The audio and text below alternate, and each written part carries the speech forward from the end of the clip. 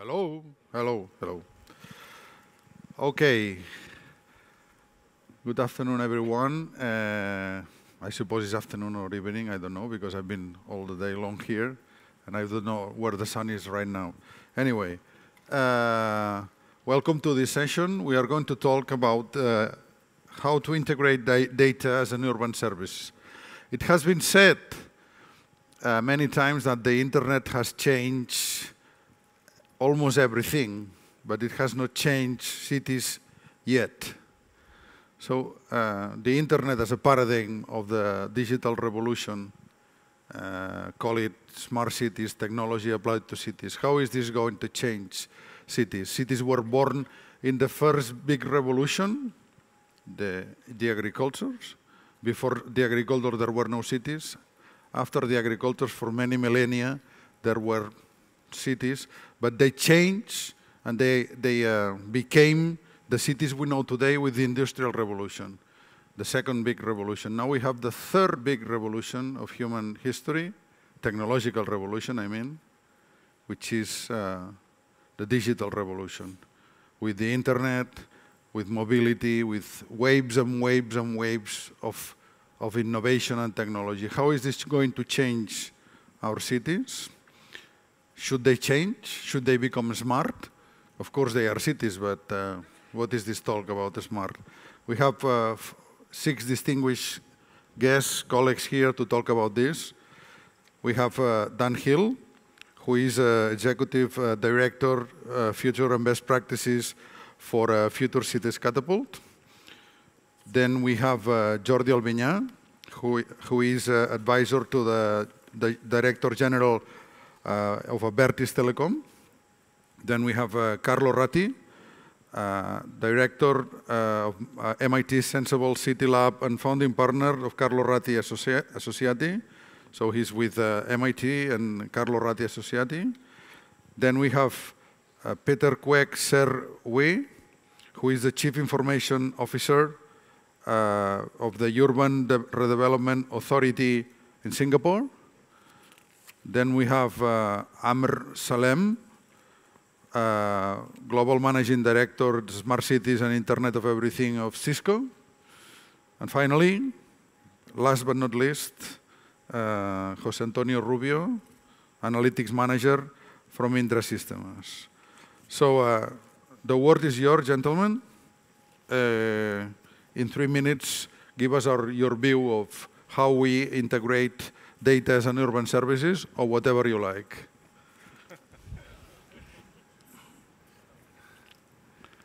Uh, Dan? Um, thank you. You just added the whatever you like bit at the last minute there, so I better not do that. Um, so three minutes isn't long to talk about this uh, big question. So I guess I'll try to boil it down. I'm not so interested in data so much or infrastructure necessarily. Um, they're important, but they're not the reason why we make cities. Um, I, I prefer to look at the other end, if you like, the services side, where things touch citizens directly, because I think that's where we can then have a conversation with citizens about the value of these things, the value of these technologies.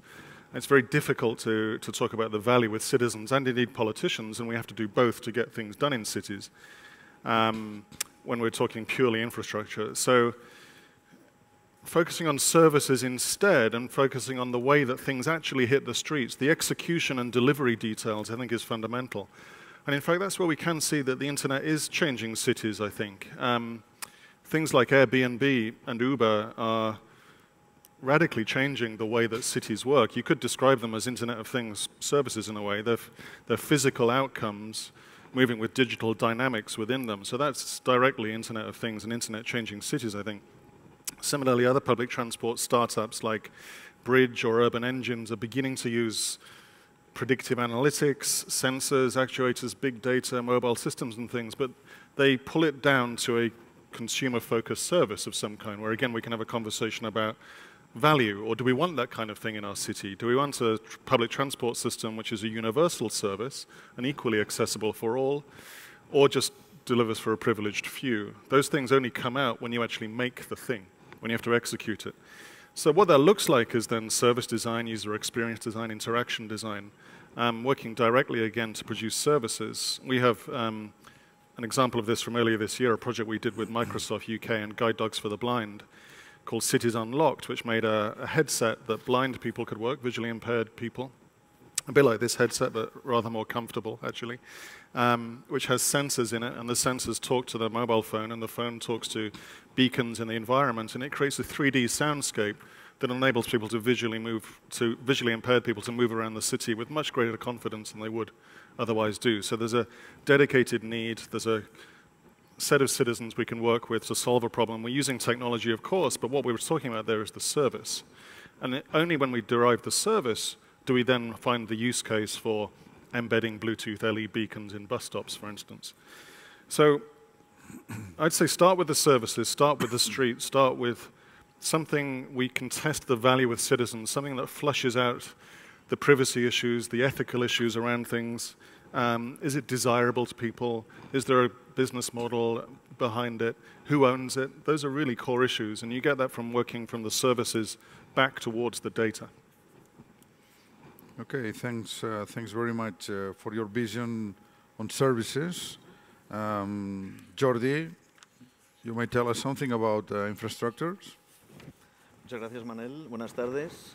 Uh, ante todo, Abertis Telecom es una compañía de infraestructuras, infraestructuras de telecomunicación. Por tanto, nuestro foco es, está en este ámbito de las infraestructuras. Nosotros llevamos unos cuantos años analizando el, devenir de lo que se ha venido a llamar las Smart Cities, las ciudades inteligentes. Eh, muy principalmente con el municipio de Barcelona, pero no solamente con él, con otros municipios.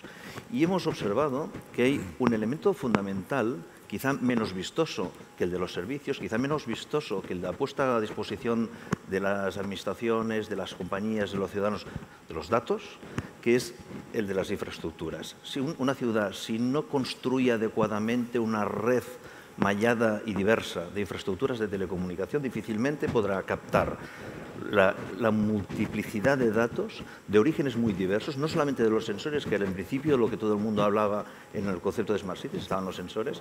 Después hemos visto que ahí están también los servicios prestados por la propia Administración Pública Municipal, los servicios prestados por las, las compañías concesionarias de servicios municipales, los servicios prestados por no importa qué empresa privada que actúa en la ciudad, las redes sociales, el Internet, hay multiplicidad de fuentes que generan datos. Estos datos hay que recogerlos, hay que integrarlos, hay que compararlos, hay que consolidarlos, hay que ponerlos eh, a disposición de los sistemas que después eh, se decidan de una forma sólida.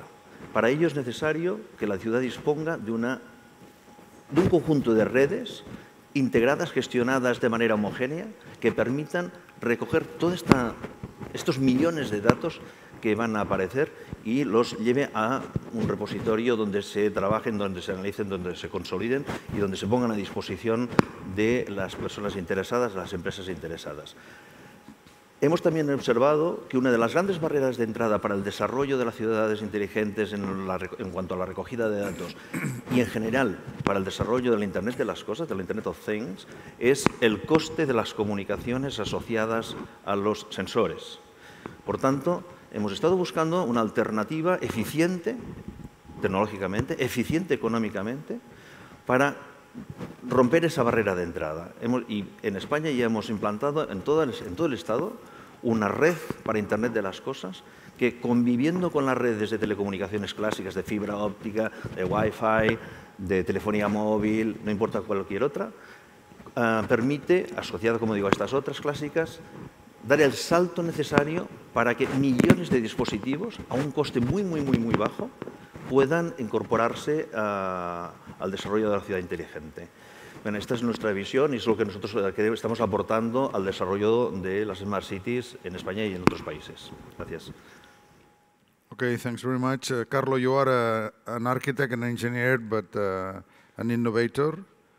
Um, how do you see the, the, these technologies uh, changing the way we, we live in cities, we, uh, we understand cities? Thank you. Thank you. Buenas tardes. Um, I speak in English. So what I wanted to share with you is um, when we think about infrastructure in the city today, usually the problems with infrastructure are not problem of capacity overall, but they're usually a problem of peaks. If you think actually just the street next door going to Barcelona, the problem is a few minutes per day when actually there's a lot of cars and then you get a big traffic jam. But otherwise, you know, that, that road has a lot of spare capacity and free capacity. Um, and um, uh, so what can then big data do? Well, big data can do a lot in order to actually help us use better our infrastructure. And let me give you two examples. One example is exactly what Dan was mentioning before. He was talking about Airbnb. Well, Airbnb is quite interesting for me because it is something where, look, you know, in, in a city like Paris, you got, I believe, 16,000 new units on the market. And, you know, that's like, if you multiply that for all of the world, is like building hundreds or maybe thousands of new hotels. But you don't put, you don't move one brick, you just release spare capacity on the system. So you utilize much better what you had there.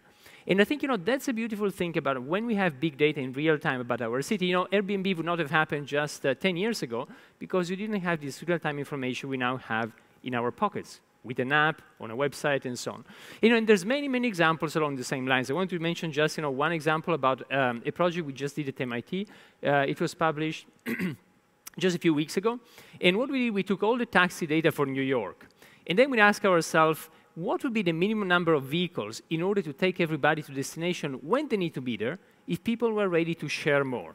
You know, as we see with Airbnb and many other things, people are more happy to share things today. So what would be the minimum infrastructure?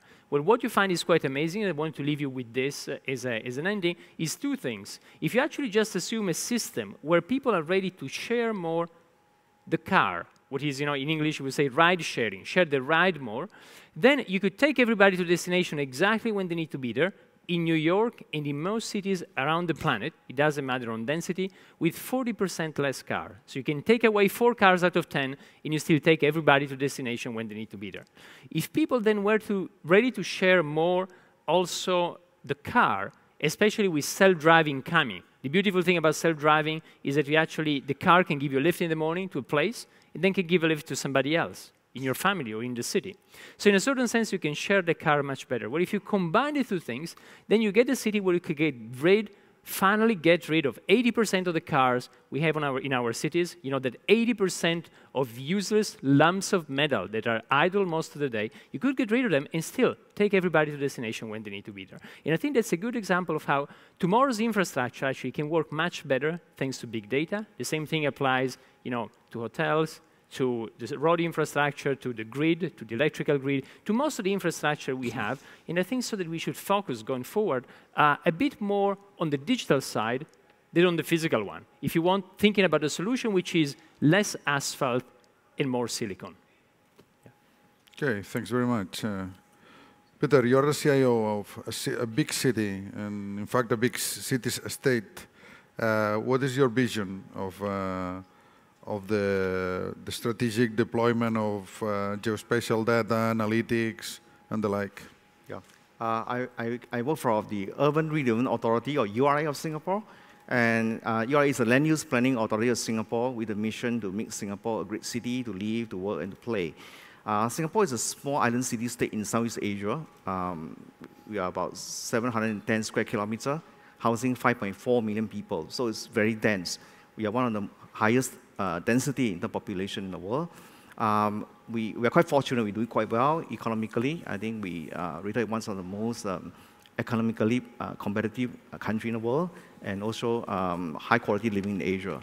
But city planning is really a, a, work in progress. We never achieve and never arrive. And we face problems all the times. Many of problems are also faced by other cities. But there are two problems that are very unique to Singapore. First is a small land size. Uh, we are a city, but we're also a country. So we need to cater for city function, housing, transportation, recreation. We also have to cater for country function, seaport, uh, airport, uh, military training ground, reservoir, nature reserve. So there's a lot of constraint on land. So when we develop further uh, for economic developments, we need to be able to make use of data, technology, engineering, innovation to optimize land, going underground, going above ground. Uh, second challenge is really about aging population. We have a fertility rate of about 1.29, one of the lowest in the world. So we are aging rapidly. So in planning, we need to be able to cater for uh, changing in demographic. social services, infrastructure services to cater for these demographic changes. And at the same time, um, to replace the uh, labor force, we need to bring in capitals, bring in talent. So for planning, we, we look at it is really these challenges also uh, place good opportunity for us. So um, uh, making use of data innovation, technology innovation, and social innovation. So in planning, we look at multi-time scale planning, long-term, mid-term, and short-term. In long-term, we have this thing called concept plan. We plan Singapore um, 50, looking at 50 years ahead of Singapore. Um, of course, no one can predict the future, but what we can do is really look at uh, use of data and analytic modeling tools to help us understand the city better, have a way to look at different parameter mix, do scenario planning. So one of the projects we are doing is an integrated city planning system, mesh out data from different uh, government uh, agencies and help us to do this. And in the midterm is what we call master plan. We do the master plan once in every five years, looking at development of Singapore in the next 15, 20 years. Uh, there's a time frame that we have more firm understanding about the population and economic growth. But what is important for us is to look at the provision of public infrastructure, um, the metro, the bus network, the water, the energy, and so on, and how to optimize and sequencing the deployment orders so that we time it such that we make um, very wise investment at the right time. Uh, so we, are working out a, a, a, what we call urban uh, system dashboard that will help us to uh, look at the different uh, scenarios. And the short term is looking at something in two to five years, and that's a very time frame that we are quite firm about the development. It could be a sport hub, it could be housing development, it could be a park. And in this aspect, we find it's very important for us to, to engage the citizen to understand their concern about the development is going to impact on their daily life, the disruption, the diversion. So, um, um, so these are the things we do. So in summary, we look at from planning for multi-tenant scale development and making use of different type of data technology to help us to do that better. Okay, thank you, Peter. Uh, you, you are responsible for Internet of Everything. So that includes everything. So that includes cities. So how is uh, the Internet of Everything for cities. Manuel, thank you very much and appreciate it. Uh, thanks to you and congratulations on putting together a big event with the organizers. Um, over the past couple of days, I've had the fortune of meeting many of our cities here that are participating, and one consistent challenge that everybody brings up is the siloed nature of how cities operate and the lack of integration between different agencies and departments. Traditionally, cities would invest in infrastructure in projects that are all the way from the applications to the data center to the, to the communication infrastructure all the way to the sensors that is dedicated infrastructure for one use case. What we believe is cities should be looking at this from a bottoms-up approach. Infrastructure first to allow for the use of multiple use cases. Deconstruct the nature of these vertical silos into small common components across the multiple silos, across the multiple different uh, use cases that are being required for the smart city approach. So things like the sensor that is being used for traffic control is the same sensor that could deliver data necessary for the security system. So no need to do it twice, just use the same sensor. The communication infrastructure required for most of these is the same communication infrastructure required. If you deconstruct these systems into common elements, leverage the investment across multiple systems, you'll be able to read from multiple types of sensors and present the data in a common format to multiple types of applications, irrespective of where the data is coming from. This way, you open up also the data for the use of uh, industries, small and medium enterprises, startups, to be able to leverage this data and create new apps and new business models that would fuel the industry in the city. So it's not just for use of the applications, but it's also for developing industry that is capable of fueling the growth of the city economically, socially, and environmentally as well. Well, I'm, I'm the moderator. I'm not supposed to say to, to tell how uh, I agree with that. So uh, let's go with uh, let's go uh, to Jose Antonio from uh, from Indra. You are the analytics manager of your company. Analytics is one of the keywords uh, that we hear uh, on and on. Sure. How do you see the, uh, the, the, the, the, role of analytics in cities? Yeah. well, analytics is uh, an exciting arena uh, inside the, the, smart city problems. Um, our vision at, at Indra as uh, the largest IT global company in, in, Spain and Latin America is how to solve um, the current and the old problems of the cities uh, using uh, the, the, new technologies.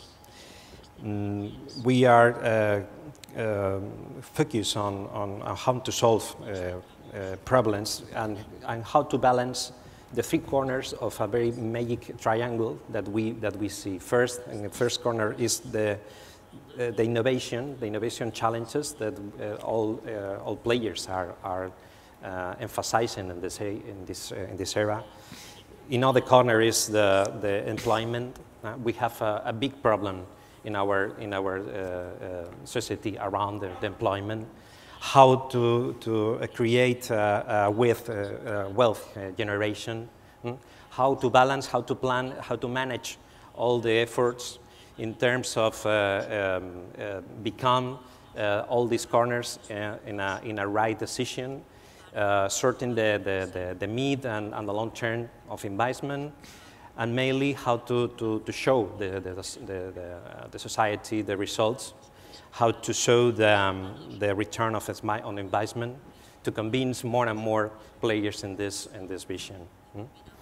This is our, our main uh, concern, this is our main uh, con concept, and data is, uh, as, as all we know, the main uh, oil of, of 21st uh, century. And our mission is to, how to figure out uh, all this amount of data. in terms of understanding patterns, understanding trends, uh, to help the, the, the, the, right decision in the right time. Okay, thanks very much, gentlemen. Uh, in fact, from now on, uh, we have agreed that uh, that anybody uh, could uh, ask a question, can, could intervene. But I cannot help but you have talked about that your last word has been data is the, the oil, the fuel of 21st century we know who, who owns the oil in, in the 20th century. Uh, my question would be, and, and, it's an open, an open uh, debate, but my question to any of you would, would be, who owns the data in the 21st century? Because there are many origins of the data. There are, obviously, there, is, there is data that belongs to somebody, but uh, there is data who, there is a debate. I would like to have here a representative, for instance, of mobile operators who may have uh, their own ideas. But uh, let me be provocative. Who, who owns the data in, uh, in the 21st century? Any of you? Well, it's, it's a risky question. yeah. It's a risky question. Well, um, depends, uh, despite of the, the, the, property of data, um, uh, all of us uh, we are convinced of the, of the power of data. And um, uh, we, we, we need to understand the, the, the, the meaningful uh, explanation of data uh, to, in, to enforce, uh, to, enhance the, the, the I mean, the, the open data um, way, how the, the, the enterprise, how the citizens re really access and really have uh, effluent of, of, data to, to, to, uh, to become this, this potential oil in real uh, intelligent applications. That's my, my vision. You look like a politician. You don't answer my question. yes. I'll have a go. okay.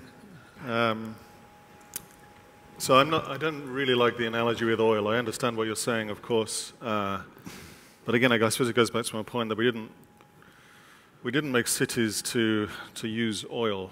Um, and in fact, when we've made decisions based around infrastructure like that, they've often gone wrong. So I'm thinking of um, General Motors allegedly lobbying the city of Los Angeles in the 1950s to remove the public tramway system in order to create more traffic on a different kind of network, if you like, um, which was a shift towards cars and, rather than public trams. And that infrastructure-led thinking, of course, then maybe generated 30 years of growth in LA, but they'll be dealing with the problem that it created for the, the next century or so.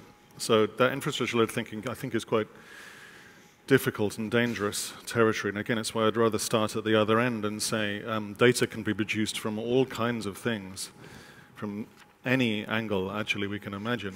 So the question is, well, what is the service that you're going to build on top of the data? And then we can talk about ownership, potentially.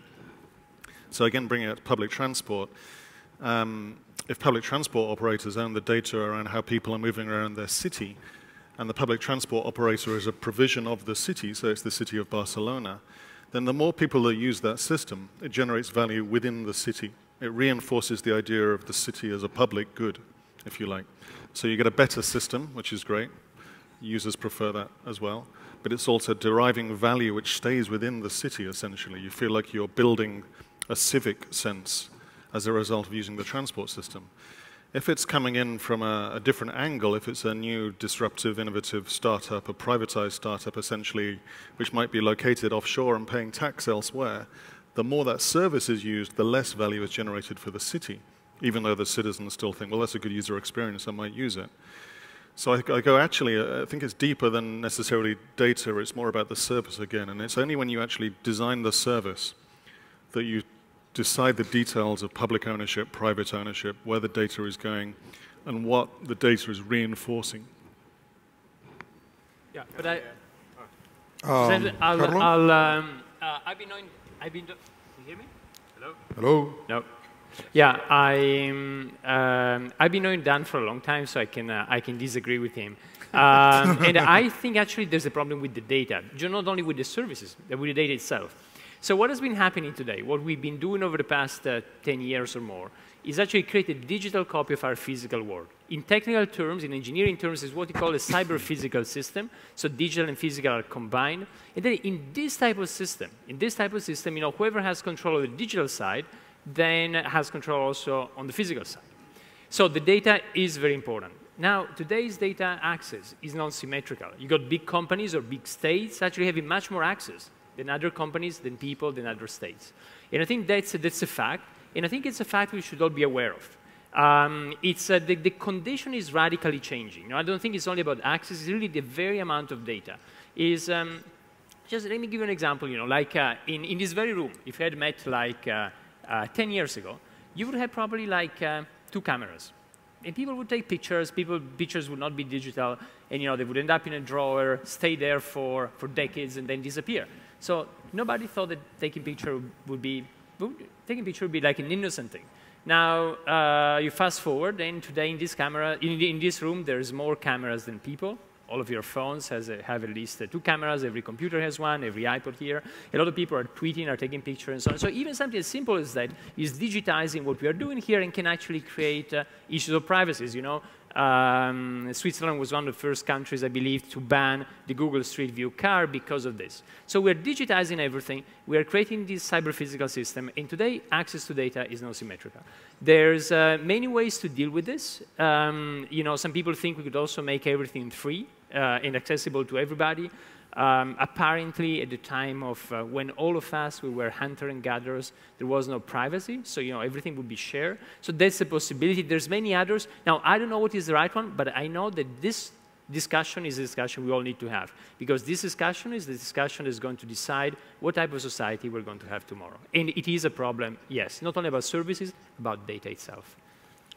Um, yeah, Jordi fir- first? gracias. Yes. uh, no. Eh, antes he hablado de que nosotros somos una empresa de infraestructuras, y es cierto, pero el concepto de infraestructuras ha evolucionado y esto ha hecho que mm, nos aproximemos a infraestructuras basadas en sistemas, en IT, y esto nos sitúa a nuestra compañía en una doble visión, la visión muy cercana a las redes eh, de telecomunicación y una visión muy por encima, básicamente a través de un proyecto europeo que hemos desarrollado con el Ayuntamiento de Barcelona, con ayuntamientos de Italia, con ayuntamientos de la Gran Bretaña y algún eh, instituto de investigación de, Alemania, que eh, lo que pretende es abrir las redes, abrir las infraestructuras a los desarrolladores de aplicaciones y abrir los datos.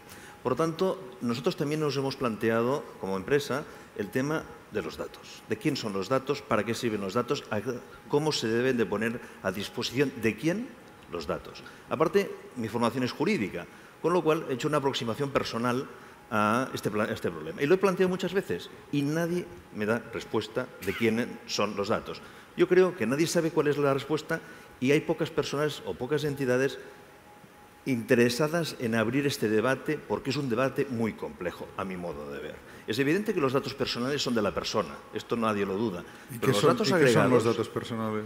los datos de cada uno de nosotros. Eh, ¿Cuánto yo gasto con mi visa? ¿Es mío o es del banco que me Si yo entro en una tienda o no, ¿es un dato personal o no? Yo creo que sí, pero hay gente que lo discute también. Por tanto, ahí hay una visión jurídica, regulatoria, de bastante recorrido. Pero es que además, luego digamos los datos agregados. Ahí dicen, bueno, los datos agregados son de quien los agrega, de quien los recibe, de quien los compila. Pero a través de los datos agregados generamos nuevos datos, que son distintos de los datos de origen. ¿De quién son los datos agregados? Los nuevos datos que se generan. Seguramente de la entidad pública o privada que genera esos nuevos datos a partir de la agregación.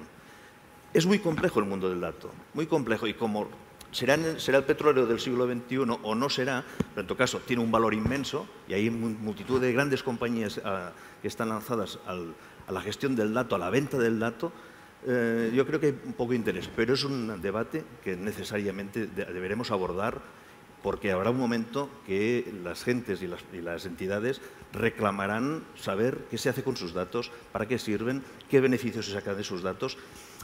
Bueno, una- un ejemplo clarísimo es el derecho a borrar la memoria en Internet. Eh, Al final esto también son datos. Eh, Es por poner un ejemplo, ¿no? Gracias. Okay, Amr? Sure.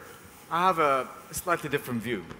I think we're talking here about a, the physical world, and we're applying a physical world terminology on the digital world.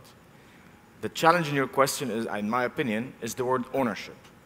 Ownership is a legal status that we have gotten used to in the physical world. You own a piece of land, you own a house, you own a car. but in the digital world, we're still trying to manipulate the digital world to look like the physical world, which I don't think that, that should exist.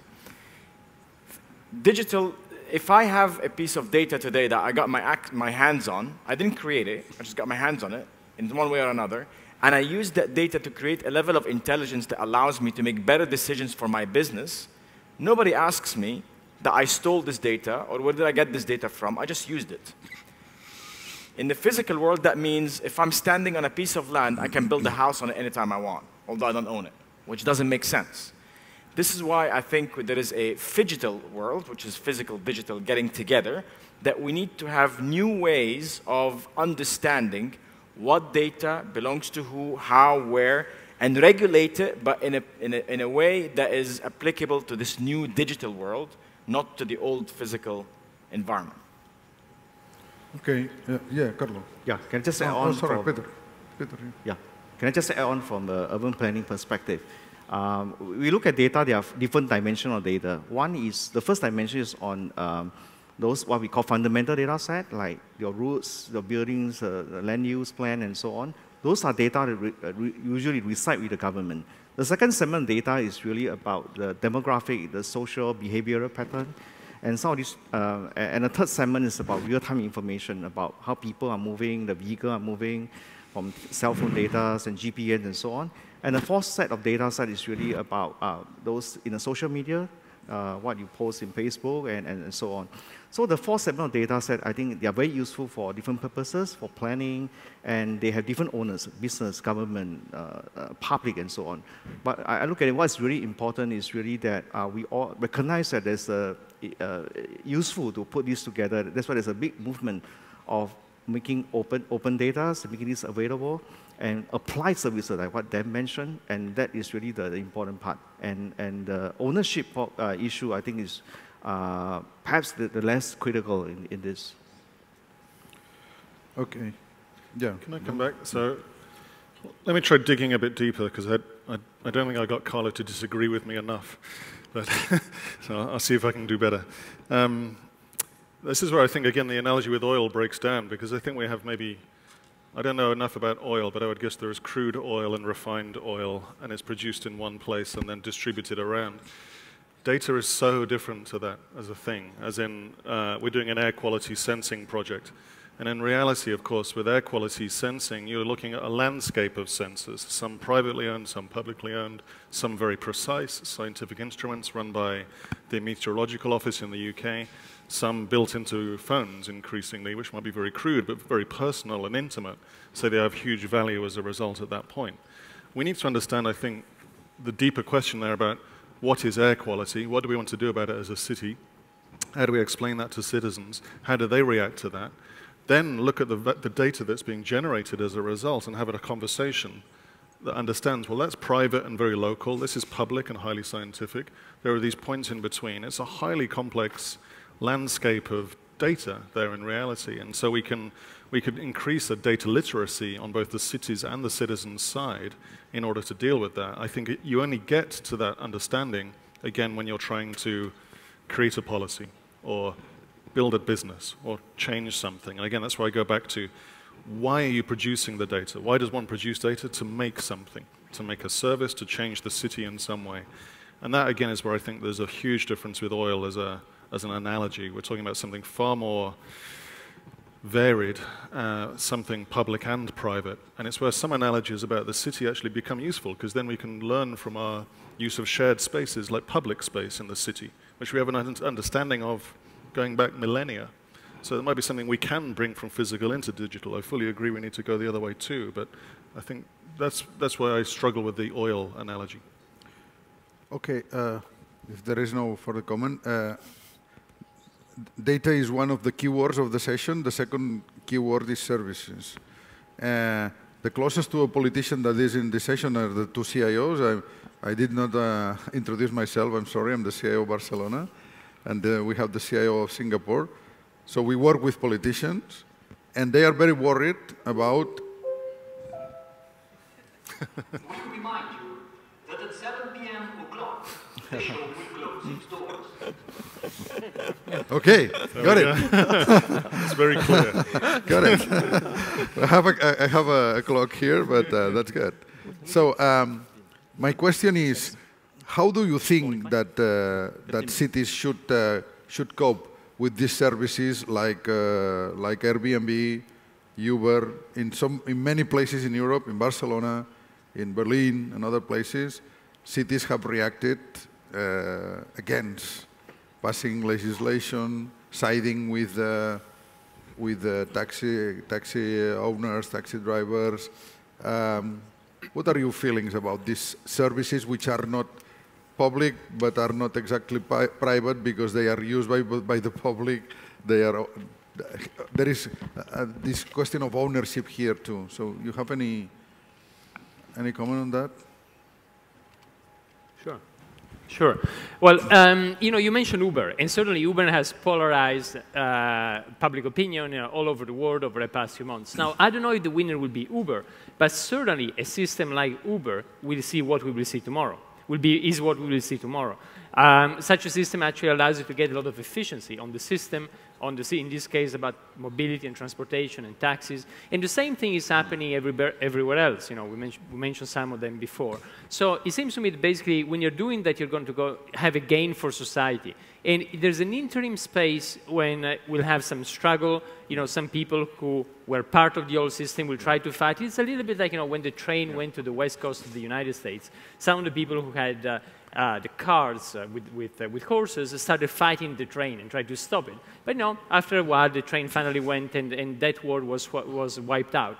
I think you know, there's no doubt that, that the war that actually is more efficient for everybody sooner or later will actually happen. In the meanwhile, we have a bit of struggle. I don't know if it will be, if it will be Uber or somebody else, but something like that and something like that in a lot of the other services, in the end, will, is what we will use because we know it. We know it is, is much better. You can get a taxi when you want it. You, you know, it's much easier. It's, it's better for you. It's better for a taxi driver. It's better for the system as a whole. You can also share mobility. Again, going back to what, uh, what we were saying before, actually, Uber Pool uh, was partially inspired by some of the results of the paper we did, the one I mentioned before. Uber pulled the allows actually to share the ride itself. So, um, so there's no doubt that this will happen. There's a temporary thing that so, has always been the case, and then some small revolutions, and, uh, and the world will move on.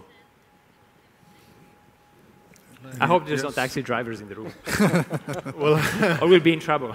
no, I, well, I think that, that, that's a key point, isn't it? Because there's, there's huge debate from whether it's any good from the driver's view at all. Many of the Uber drivers would say they have to work incredibly long hours to achieve a minimum wage equivalent because they have none of the traditional protection that a taxi industry offers there. So I go back again to uh, can we, can we peel apart the different things that Uber is, for example? We could also look at Airbnb or Lyft or Bridj or Ridge, you know, all of them. But there's a great user experience there. Absolutely no doubt that that's what some future of mobility looks like. I want, I'm here, I want to get something towards me, it's reliable, it's, I know the price in advance, I can do the transaction electronically, it takes me where I need to go, it knows where I need to go because of GPS and maps. All of that's super possible. Uh, Hailo has exactly the same experience. So you can separate that from what Uber is doing, essentially, and say that's, that's a good thing. The question I go back to again is then ownership. Is it, is it good for the city? Good for the citizens and good for the city are two different things. So good for the users, absolutely, potentially. Not, well, the jury is out, I suppose, whether it's good for the drivers, but there's clearly evidence either side there. But does it reinforce the idea of the city? Why couldn't a, for example, a publicly owned transit agency of some kind offer something equivalent? If the user experience can be transferred and isn't particularly unique to Uber, uh, there's no reason why Barcelona couldn't offer a shared driving solution of some kind, maybe a minibus or something in between taxis and buses and trains when autonomous vehicles come in. Is the city of Barcelona going to be the service that is offered there with that kind of user experience? Because again, if it is, then the increased usage of that service reinforces the city as a public good. Under the conditions of it being an equivalent of Uber, again, that money drifts away from the city.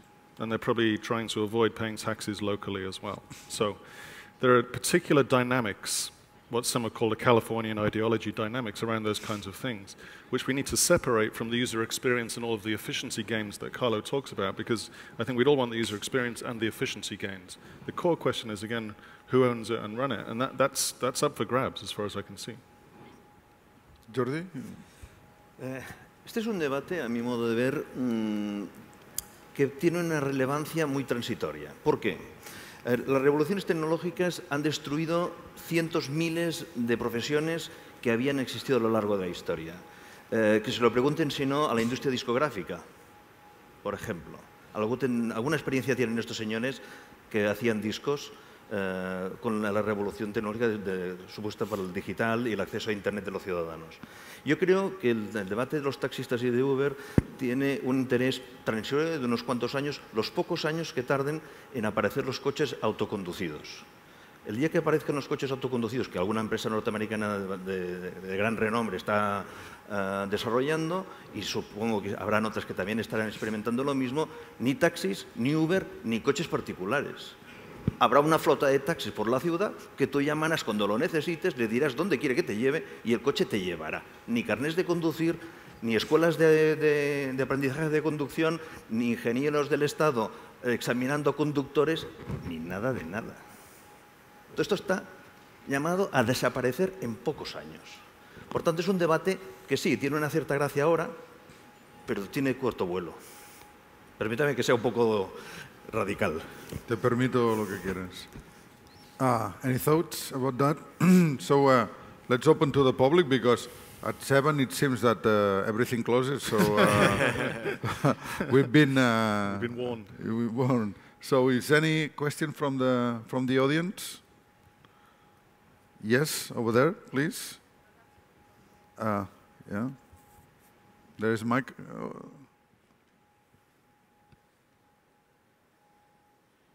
Okay. Um, you've been mentioning um, the agricultural revolution, right? I did. yes, you did. So it's true that it brought cities and it brought, you know, it, it, it gave us time to, to dedicate to art and culture and things like that. But on the other hand, uh, the life expectancy, if you passed, I don't know, your childhood, uh, was drastically reduced once you pass from hunter-gatherers to the agricultural um, society, right? So there are good things and, and bad things. And well, I'm working in data integration, semantics for data integration. So I'm, I'm all for data and I like having a lot of data, but I do notice that um, you know, you don't have to look further ahead than the newspapers to see that, you know, there's some statistics and you think that it's serious stuff because somebody, and then you realize that, well, few people realize that a lot of the results are actually bogus. And sometimes because of the method, but a lot of the times because the, the data has really poor quality, because there's a lot of it, and a lot of it has poor quality. And for example, mm, sensors, right? Your, somebody was mentioning. Please, uh, uh, uh, try to formulate the, the question. Okay, so have you, mm, in your respective businesses, have you toppled with this problem of data quality and how do you go about it? Because I, I personally think it's, well, I had a problem with it. Thank you. Maybe I'll, I'll say something. I think Hello? Yeah. I'll say something. I think it's, uh, it's a good point, but, you know, but I don't think I follow your logic. You know, the, Disraeli, he was the prime minister in the UK over 100 years ago, and what he used to say is, you know, there's lies, damn lies, and statistics. And, you know, and at the time, the point is that, you know, using the data in the way you don't want it to be used is something that, that has been there always. Now, I think you say sometimes the data is not very good quality, but I still say, I would say, it's much better to have bad quality data than no data at all, which is the condition we had before. And there's no doubt, you know, that yes, we have a lot of bad data, but we have an incredible amount of data. You know, we, we said it several times, if you take all the data produced by humanity from the beginning, for thousands of years, from the beginning to 2003, well, that's what we produce now every 24 to 48 hours. So they give you a sense, you know, it's not the same quality. In the first chunk, you had uh, Shakespeare and Cervantes and, uh, you know, you name it, everybody. And uh, uh now you don't have a Shakespeare every weekend, but actually the, the quantity is exactly the same. So I think, you know, I, I am sure you follow your logic. Uh, yes, a lot of the data is bad data, but uh, better bad data than, than no data. Then, then yeah, I, I, think I go back again to this point around communication and literacy. Um, and uh, again, the air quality project we're running in London, we've done ethnographic research with residents about how they understand air. And of course, they don't really understand air quality, but we have incredibly good data in a sense about air quality. We have scientific instruments on the top of buildings that have been giving air quality readings for decades, actually, and they're in the newspaper every day. It's just meaningless because they're not communicated. They're not translated into something that citizens can understand and act upon. They are literally there in the Evening Standard next to the weather. It will talk about particulates per billion of nitrogen oxides. So we, it's, I, to me, can, we can, again, we can generate more data, we can generate loose data, lossy data, we can generate all kinds of different kinds of data. As I said earlier, a landscape of data is emerging around air quality. The core question for me is then, how do we translate that into something communicable? And what does that mean that we can then act upon? Antonio? Very briefly.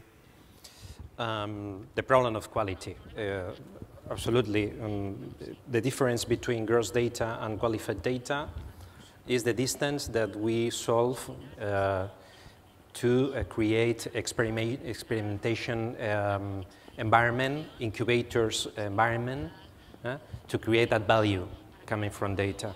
Mm? So, uh, uh, despite of a property of data, the main question is who is uh, uh, concerned, who is uh, obliged to, to, to keep the, the, the, the data quality in order to create intelligent uses about that. So this is a, a concern that, that is, in my point of, of vision, uh, mainly in governments, mainly in councils, mainly in the, in the, in the uh, politicians who deliver the, the, the, the infrastructure to create, uh, um, to, create uh, to generate uh, uh, enrichment, and, and, and, and it's, it's, not an easy, an easy solution. Ten, yeah, just quick, because we have another question, please, 10 seconds each, just two sentences. Muy cortito. Eh, mi colega de Cisco citaba al principio de su intervención la estructura en silos de, de, la información y los servicios municipales hasta el momento presente. Justamente la revolución del Smart City, si se hace bien, a mi modo de ver, por encima de la capa de infraestructuras está una capa de inteligencia que he citado de pasada. Esta capa de inteligencia debe de permitir compendiar millones de datos, contrastarlos entre sí, hacer los sólidos, desechando los erróneos, si pones inteligencia adecuada, desecharás los erróneos, y poner a disposición de los usuarios, institucionales, compañías, eh, ciudadanos, datos muy sólidos, datos muy fiables, mucho más fiables que hasta el momento presente. Okay. Peter? I just want to add on is really in, the quality of data is an interactive process. I agree fully with Carol that bad data is still better than no data. And uh, uh, in Singapore, it's not easy to get data.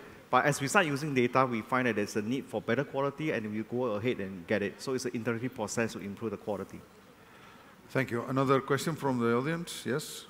Please. My question is why we don't talk about privacy? Eh? We, I think that we all need an application that assured no one can access to my smartphone, no access to my laptop. So in my opinion, if the new technology is not uh, able to assure our privacy, it's better to put a break. No, it's, we need a balance. We, we need a balance uh, because too much big data interchange without, but So- without any. Uh, What is the question, something. please? And the question is why we do not talk about privacy. Eh? N- I- and I- we- violability now, we, because we don't have big data. time, but uh, is there any is, is there any uh, reason why don't not to talk about privacy? I, I did mention it. again, I got, again, when Thank you you make for the- when you the- make the thing, I think that's when you figure out the privacy issues. I said the ethical issues. Again, with with air quality sensing, only when you make the network, deploying the sensors to the street, designing the boxes, do you then have to figure out well, what's the ownership model, what's the privacy model, what's the ethical model, where, what, where's the business model here? That's that's the point at which you can really sensibly talk about privacy, because we've seen citizens are happy to give certain data away if they derive something of value back. And it's only when you make the thing do you derive the value exchange. That's when we can talk privacy. Any further thoughts before before they close us all here inside? Uh, okay. Uh, En cualquier caso, George Orwell escribió algo. You see, run away. No. Thank you very much to the, the, our distinguished guys. Thank you. Uh, Smart City Expo World Congress close its doors. okay, I think we'll have uh, time enough. Thank you very much to all. Thank you.